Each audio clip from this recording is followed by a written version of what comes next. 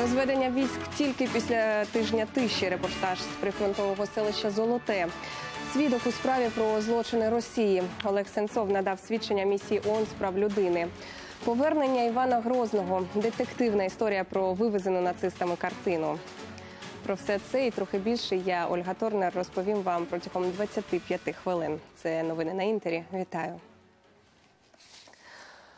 На Донбасі за минулу добу 27 випадків порушення режиму тиші з боку російських найманців. Ворог бив по позиціях українських армійців з різних видів озброєння і умисно двічі обстріляв ділянку розведення сил поблизу золотого з гранатометів та стрілецької зброї.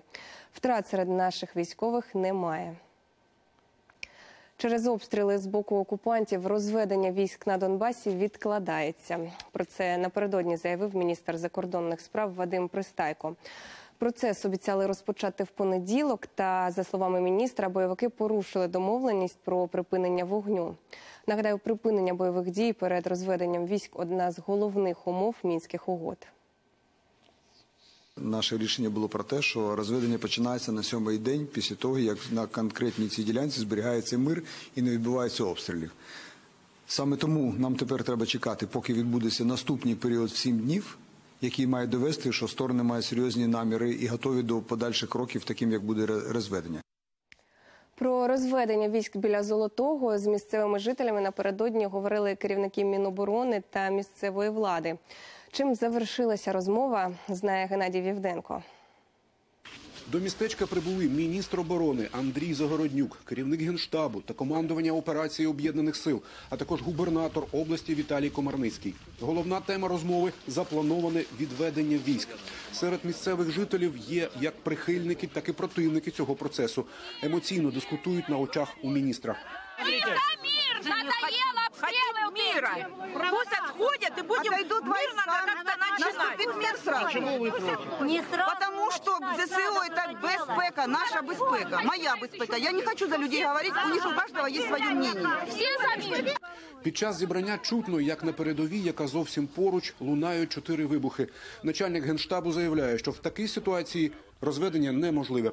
Його не скасовують, а переносять. був обстріл цієї ділянки. Відраховуйте сім діб. Сім діб має бути тиші. Але Після того починається тільки розведення симетричне. Якщо раптом та сторона не виконує щось, це все робиться під егідою, під контролем ОБСЄ. Після тривалого спілкування з жителями Золотого міністр зрозумів, що переважна більшість громадян тут за відведення військ. абсолютно видно, що місцеві, місцеве населення підтримує е, концепцію розведення, воно підтримує ті плани, які в нас є. Причому підтримують настільки емоційно, настільки е, відкрито, що ну взагалі немає сумнівів в тому, що це е, відверто. Окрім цього, представники влади пообіцяли, що у місті запрацює швидка допомога та спеціальний координаційний центр для поліпшення соціальних умов жителів. Планується, що порядок забезпечуватиме посилений загін Нацполіції. Добавили патрулів. Наше перебування тепер вдвічі збільшилось тут. У нас особового складу зараз тільки в одному попасному працює більше 150 чоловік. Предані сили до них відносяться це батальйон Світязь Кривоградщина. І ГУМП Національної поліції області також виставилось до- до- додатково 19 чоловік. Військові за задумом мають відійти так, щоб відстань між сторонами була не меншою ніж 2 кілометри, щоб унеможливити стрілецький вогонь. Наші армійці мають розміститися за містом в районі КПВВ. Геннадій Вівденко, Сергій Дубінін, Ігор Шепет, телеканал Інтер із Луганської області. Наступний очільник дипломатичного відомства ЄС Жозеп Боррель назвав українське питання одним із своїх пріоритетів. 1 листопада він замінить на посаді Федеріку Могеріні, яка була головним дипломатом ЄС останні п'ять років. На слуханнях комітету Європейського парламенту із закордонних справ Борель наголосив підтримуватиме територіальну цілісність і суверенітет України і додав, що необхідно продовжити антиросійські санкції, доки не відбудуться цитую тектонічні зміни в політиці Кремля. Я планую долучитися до реформ та інтеграції країн Західних Балкан і підтримати демократію та територіальну цілісність України. Силова політика сьогодні не передбачувана. Вона спричиняє конфлікти та порушення міжнародного права. Країни нехтують домовленостями. Порушується територіальна цілісність суверенних держав. Ми це вже побачили на прикладі України. У Конгресі США вимагають від очільника Пентагону документи щодо рішення про затримку військової допомоги Україні. Запити надіслали в рамках розслідування щодо ініційованої процедури імпічменту Дональда Трампа.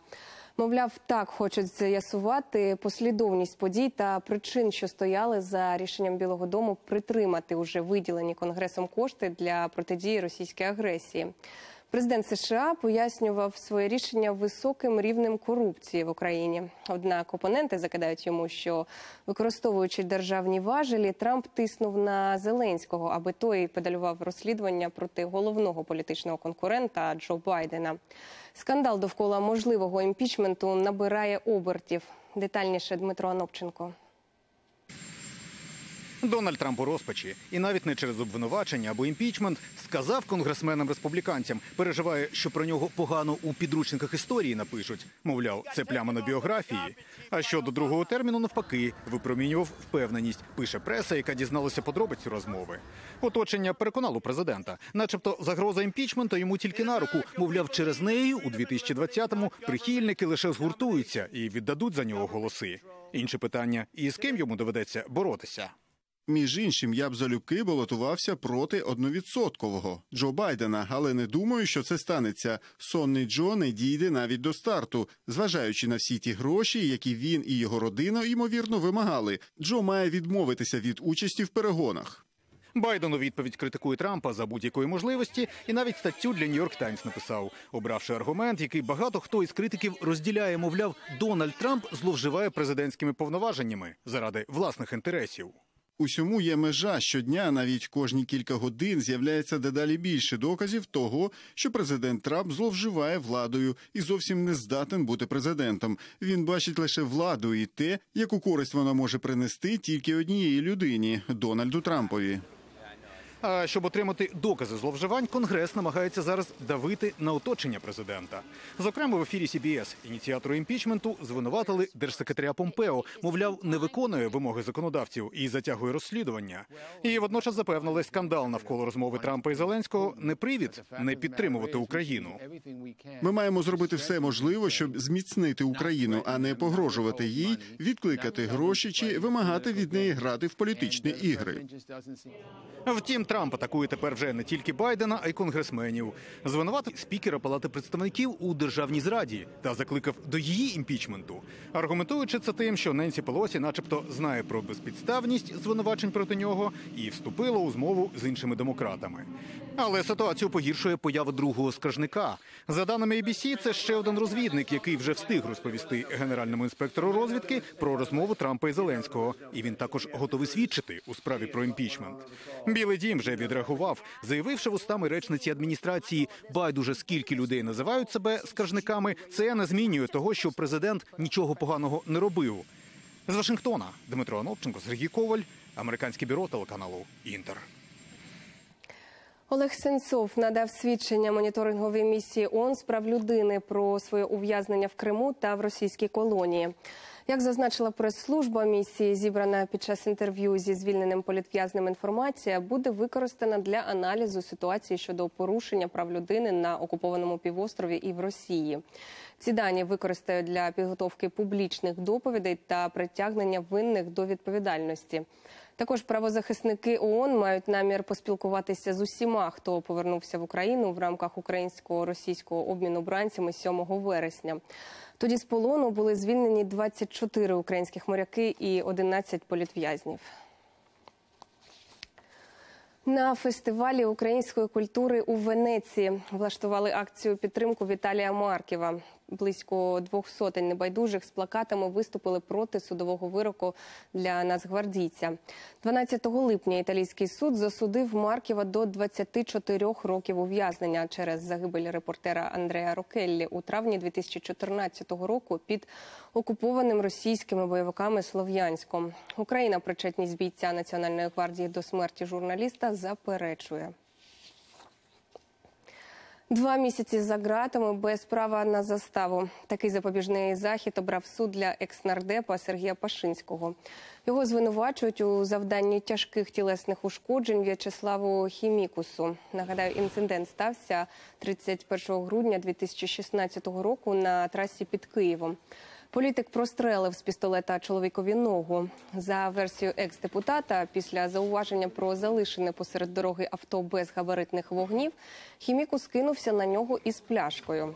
В'ячеслав Хімікус наполягає, що зброю проти нього використали невиправдано і зненацька. Справу спочатку закрили, Пашинського нібито виправдали, але нещодавно ДБР поновило розслідування. Правоохоронці вважають, що Сергій Пашинський міг впливати на правосуддя. Адвокат обвинуваченого Андрій Федур заявив, що захист Пашинського оскаржуватиме рішення суду. Коли я читаю в клопотанні і в підозрі також, пишуть так: в цей Пашинський Сергій Володимирович. Або в слідуючому це на е, сторінці другій клопотання, або пишуть, наприклад, е, в середині тексту прилизано о 17 годині 15 хвилин. Я розумію, що це про Фрейду, я розумію, що прилизали. Я про це не хотів навіть говорити. Тому що ну от, е, от так ви складаєте процесуальні документи. І це як в підозрі, так і в клопотанні. Стосування запобіжного заходу вигляді тримання під вартою відносно підозрюваного Кашинського Сергія Володимировича задовольнити. Застосувати до підозрюваного Кашинського Сергія Володимировича 14.10.1966 року народження запобіжний захід у вигляді тримання під вартою. Строк е, дії ухвали визначити до 4 грудня 2019 року включно. У Львові оприлюднили версію щодо е, причин падіння літака. Трагедія, нагадаю, сталася минулої п'ятниці. Літак Ан-12 розбився, не долетівши до аеропорту у півтора кілометра. Загинуло п'ятеро людей, троє вижили. Чому сталася трагедія? З'ясовувала Христина Гашенко. Околиці села Сокільники – місце трагедії під наглядом нацгвардійців. До літака досі нікого не пускають. Територію обгородили червоною стрічкою. Нікого, окрім рідних, не пускають і до палат з постраждалими. Троє чоловіків в одній з міських лікарень Львова. Їхній стан стабільний, життю нічого не загрожує, кажуть медики. Один з пацієнтів, який був найважчий і до цього часу перебував в реанімації, сьогодні вже переведений і продовжує лікування у хірургічному відділенні. От, але ще усі пацієнти будуть потребувати досить тривалого стаціонарного лікування. Жодних свідчень про авіакатастрофу правоохоронці від потерпілих не отримали. Кажуть, через травми вони не можуть говорити. Тим часом у головному управлінні поліції Львівської області версію падіння Ан-12 через брак пального відкидають. Мовляв, у баках керосину вистачало, щоб долетіти на дозаправку до аеропорту. Про перевантаження борту також не йдеться. Основні версії слідчих – помилка пілота чи командно-диспетчерського пункту, погані метеумови, а також несправність літака. Цей літак не падає от як камінь просто. Він все рівно приймає посадку. Якщо б не ті дерева, він би сів, ну, можливо, не з такими наслідками. То ми розуміємо, двигуни працювали, це ми вже бачимо, пальне було, тоді залишається перегрузу, як ми розуміємо, що не було. Авіакомпанії, котрій належав літак, Державіаслужба України тимчасово призупинила ліцензію. Чи був справний Ан-12 і чи правда, що його експлуатували більше як півстоліття, невідомо. Представник авіакомпанії, який належав літак, спілкуватися із нами відмовився. Пояснив, що входить до комісії, яка розслідує причини трагедії, тож жодних коментарів не дає. Причину авіакатастрофи правоохоронці з'ясують після розшифровки бортового самописця. Його вилучили у доброму стані, неушкодженим. Втім, коли саме буде інформація, ніхто поки що не каже. Христина Шенко, Юрій Голубінка, телеканал Інтер, Львів. Ні касовим апаратам скандували напередодні під стінами Запорізької обладміністрації. З протестами вийшли місцеві підприємці. Деталі у матеріалі наших кореспондентів. Свій сімейний бізнес Володимир Куляк розпочав ще 20 років тому. Взяв в оренду приміщення, відкрив продуктовий магазин. Працює на другій групі оподаткування. І всі ці 20 років, каже підприємець, триває його боротьба проти встановлення касового апарата. Спрашиваешь, это панацея для того, чтобы вывести с тени бизнес? Они говорят, нет, не панацея. А для чего? Просто все знают, что кассовый аппарат это ты как на крючке висишь. Любая проверка тебе может очень хорошо по этот, наказать или этот. А они если приходят, им надо по-любому план, и они по-любому тебя что-то найдут.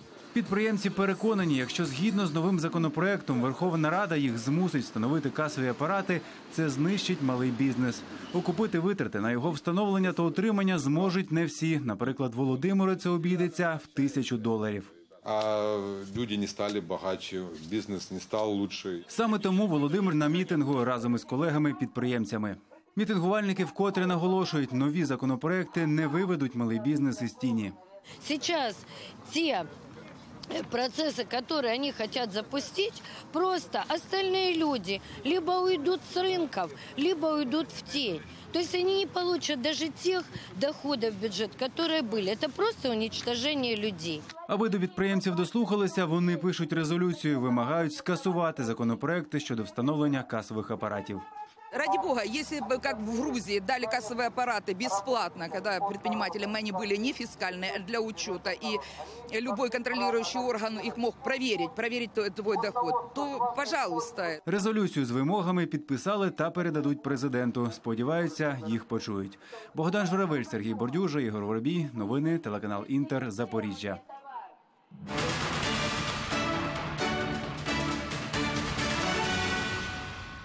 У Білому домі підтвердили виведення військ з півночі Сирії. Однак наголосили про повернення всіх військ додому, поки не йдеться.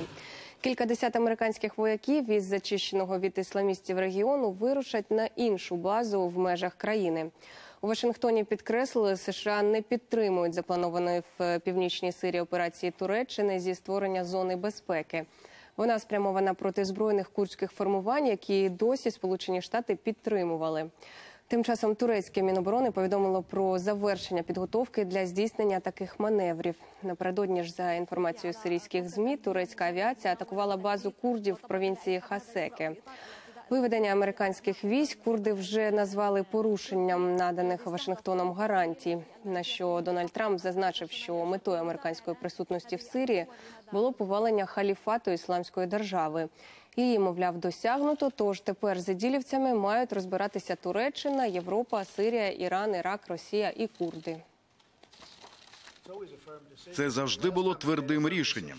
Минулого разу я сказав, рішення є, але нам знадобиться час. Ми полонили та фактично знищили ісламську державу. Ми говорили про це 9 місяців тому, але тоді це не було на 100%. Тепер ми маємо 100%. І мене питають: а може ми ще залишимося? Я ж кажу, коли ми вже виходимо, саме час виводити війська. Ми маємо повернути наших хлопців додому.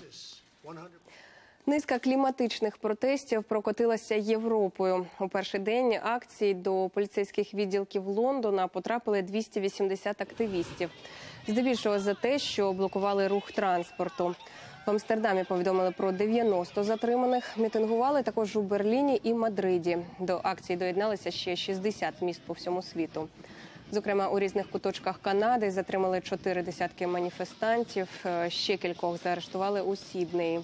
Організатори протестів міжнародний рух повстання проти вимирання. Від урядів активісти вимагають вжити рішучих заходів щодо захисту довкілля. Протестувати планують щодня протягом двох тижнів.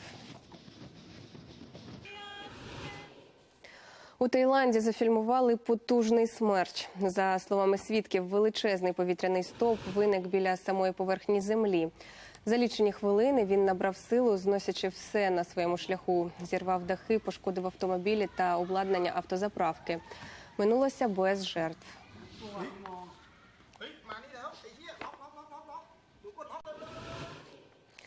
Таксисти паралізували дорожній рух у Мехіко. Так водії протестували проти приходу на мексиканський ринок онлайн-додатків з виклику автомобіля. Мовляв, ті перебивають їхній хліб. Білі та рожеві фірмові автівки заблокували під'їзди до міжнародного аеропорту. а також зайняли вулицю довкола центральної площі. Через це тисячі жителів мегаполісу та туристів не змогли вчасно дістатися місця призначення. Покарання по-естонськи. Тамтешніх водіїв за перевищення швидкості почали штрафувати часом. Запровадили так звані тайм-аути або ж зупинки для заспокоєння. Їх пропонують як альтернативу грошовому стягненню. Залежно від серйозності порушення, на узбіччі доведеться простояти від 45 хвилин до години. До такого кроку поліція вдалася, бо звичайні штрафи ніяк не зменшують кількості аварій на дорогах. А чимало водіїв їх узагалі не вважають покаранням. Ідея так званих тайм-аутів з'явилася після того, як ми провели низку інтерв'ю з водіями. Вони розповіли, що штрафи вже не так діють. Зазвичай люди сплачують і відразу ж забувають про них. Тож ми вирішили спробувати такий креативний підхід. Але з іншого боку, багато хто обурюється тим, що доводиться просто гаяти час у машині. Я обганяв автобуси та дав швидкості. Як потім з'ясувалося, порушив правила. Думаю, витрачати гроші на штраф за таке безглуздо. Легендарна Мона Ліза повернулася на своє звичне місце у Луврі. Оновлену демонстраційну залу відкрили після двомісячної реконструкції.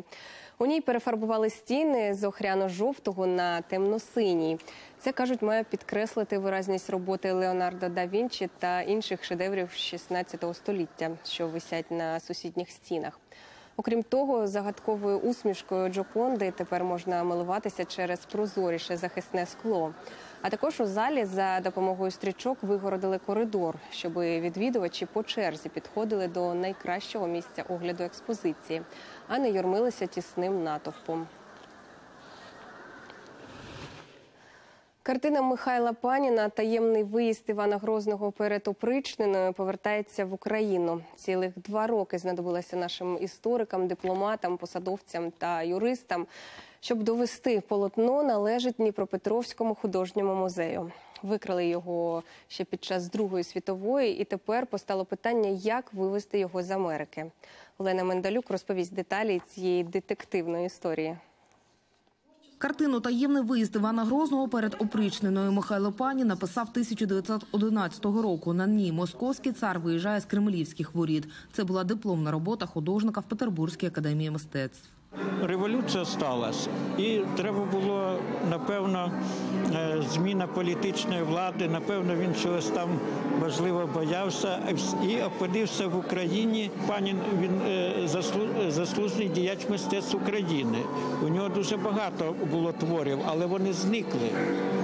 Зникли тоді, от під час війни. Переїхавши до Дніпра, Панін подарував полотно Дніпропетровському художньому музею. Відповідний запис зберігся в інвентарній книзі. А ця світлина зроблена ще в довоєнний час. Картина представлена в залі історичного жанру. Однак у 42-му році під час окупації роботу викрали. Це розписка, яка свідчить про те, що бригадний фюрер на прізвище Таць вилучив сім експонатів з колекції музею, і під номером 5 зазначено картину Панін Іван Грозний. Відтоді про картину не було жодної звістки. Лише 2017 року аукціонний будинок США виставив полотно на продаж. Вже було назначено продаж цього експонату. Ну і я е, діслала листа. е, Зупиніть, будь ласка, е, аукціон. Це музейний експонат. Як картина потрапила з художнього музею аж до США, невідомо. Наразі відомо лише про двох власників: солдат швейцарської армії та американське подружжя, яке виставило картину на аукціон. Логічно, що робота перепля- переправлялася з Європи до Сполучених Штатів, е, знята з підрамника у рулоні, ну, мабуть, літаком.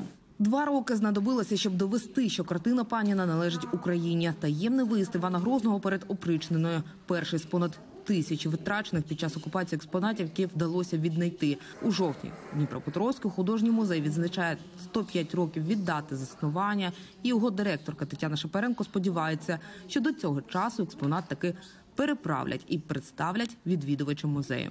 Олена Медалюк, Іван Беленко, новини телеканал Інтер, Дніпро. Сьогодні ввечері юдеї по всьому світу відзначатимуть одне з найважливіших свят Йом-Кіпур. Його ще називають днем очищення або ж судним днем, коли Всевишній зважує всі справи людини за прожитий рік і визначає її майбутнє. Протягом доби на Йом-Кіпур євреї нічого не їдять і не п'ють. Також заборонено носити шкіряне взуття. Напередодні свята проводять низку ритуалів. Наприклад, моляться на морському узбережжі, а ще крутять над головою білу курку. Вважається, що так віряни очищуються від гріхів.